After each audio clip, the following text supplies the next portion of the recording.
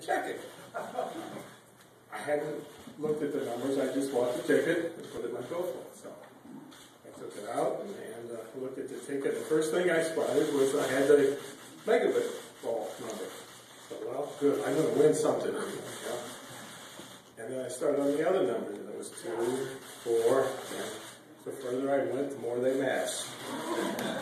So, after I looked at it for a couple minutes, uh, I turned to my wife, who was, who was right there with me, and I says, uh, we won. And she kind of looked at me funny.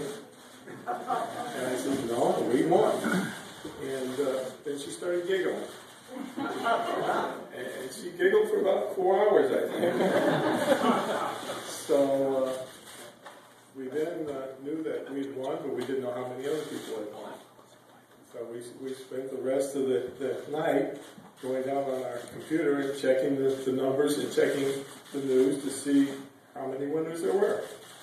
And by six o'clock the next morning, we knew that there was three, and we were one of them. So that's, that's the way it went. We had a little breakfast after that, very little. We weren't too hungry. We were up all night.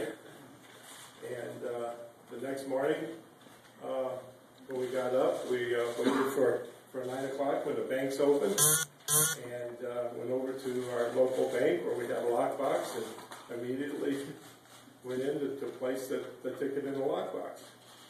And there was only like three or four people in there at the time. It was early in the morning, first first thing, and, and uh, one of the, the people I know in the bank, as I was walking in the door to, to put this in a lockbox, says, "Oh, guess you come over to uh, put your ticket in, away." I said, "Yeah, I won this thing," and I got this thing put it away. Just laughed it off.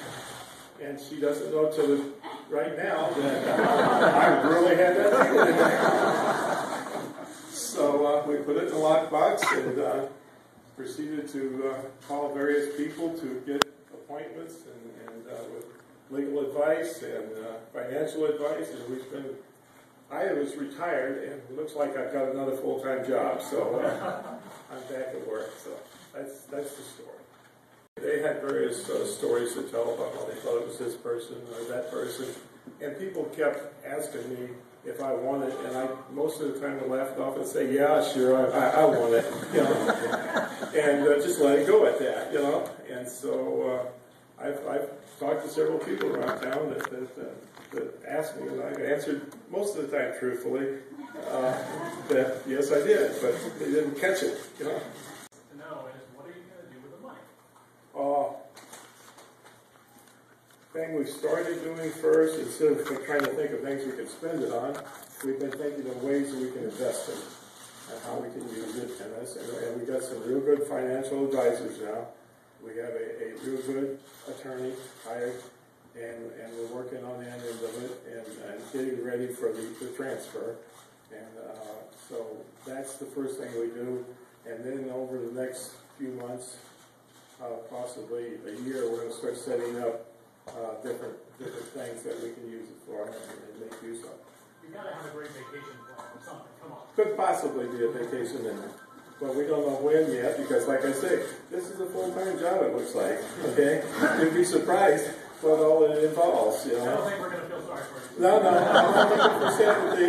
I'm just, you know, I'm just saying it's uh, it's uh, it's uh, a bit of work to, to set this all up.